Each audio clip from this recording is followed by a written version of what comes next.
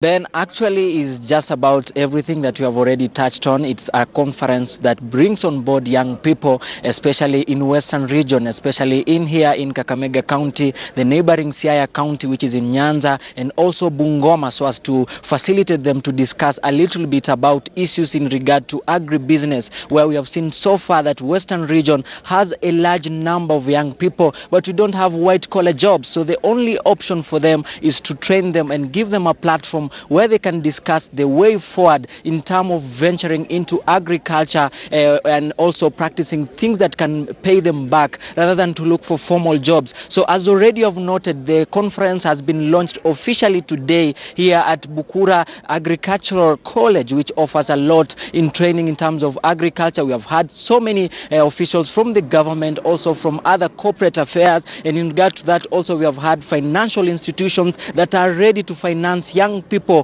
who will believe or who think that the only option for them now is to venture into agribusiness. I won't speak a lot because I also have so many people to interview here. I'll interview a few of them. I'll start with the Deputy Governor for Kakamega County. He's called Mr. Kutima. Maybe you can tell us why did you decide to have such a kind of an event here in Kakamega County?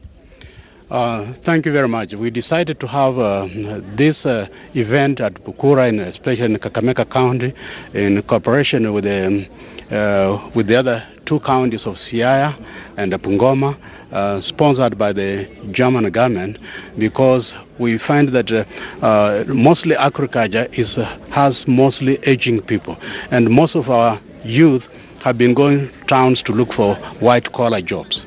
But we started a program in the county where we are encouraging the youth to go to polytechnics, and then after they finish the polytechnic, we give them the capital to be able to start uh, businesses in agriculture. So we want to sensitize them so that uh, they don't think about jobs being in the in the towns or other places. They can remain at home and make um, uh, money by doing agriculture. Yeah. Before I so let me speak to Mr. Marios. He's from the Germany government. Why did you think that this is a good, a good initiative for you to finance and also to make sure that the young people from Western region venture into agriculture? We from the German government, we are in constant touch with the national government, but also with the county level, and we understood that youth is the future.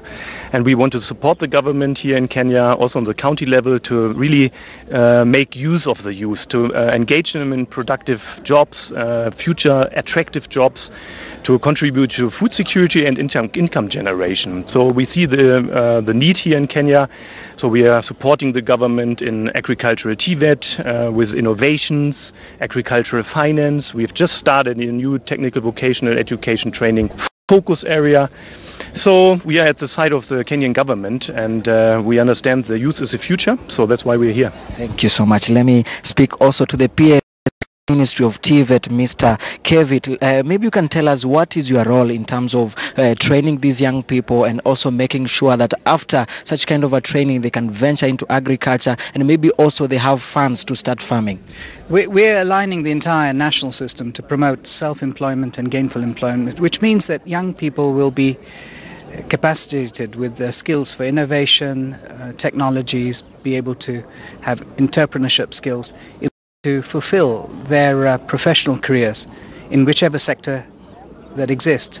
Agriculture in particular is a fast-growing and very interesting and sector that the youth can easily yield to, but provided, of course, that um, investment is put into TVET. There's ongoing reforms which are yielding in high levels of standards of training, but a lot more needs to be done.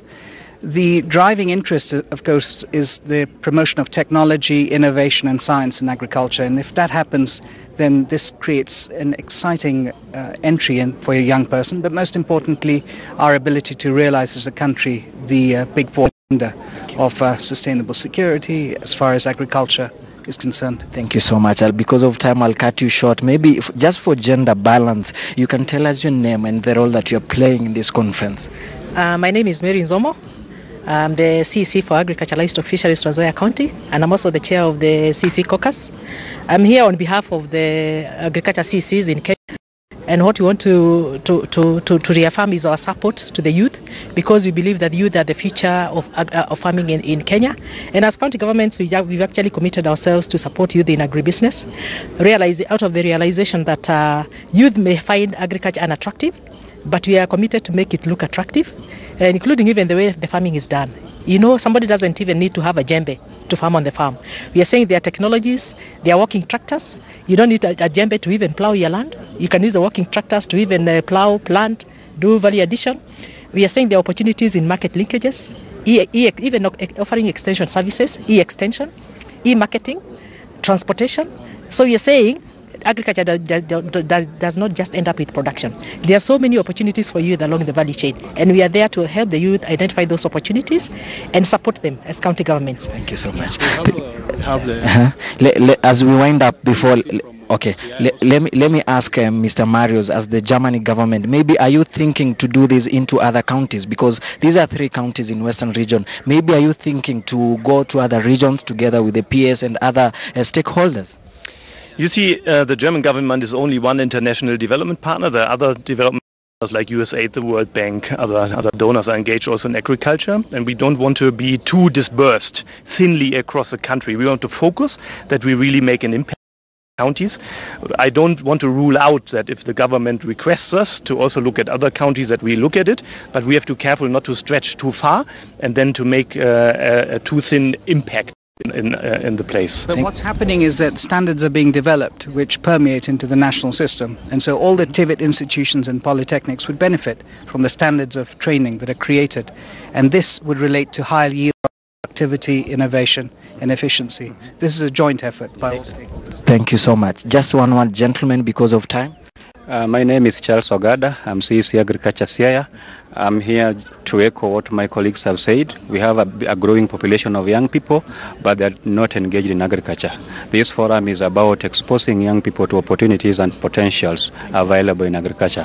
Thank you. Thank you so much. Thank you so much, gentlemen and the lady. That is a few of the comments from leaders and also stakeholders from Western Region here at Bukura Agricultural College, where the first conference on agribusiness targeting the youth has just begun today and is expected to end tomorrow, where the young people will sign a memorandum of agreement with different counties where they come from so as to get a lot of funding and also maybe to be helped in means and ways to start agribusiness and also to venture into other businesses that can create revenue in regard to agriculture and also secure uh, self-employment rather than look for white-collar jobs, Ben.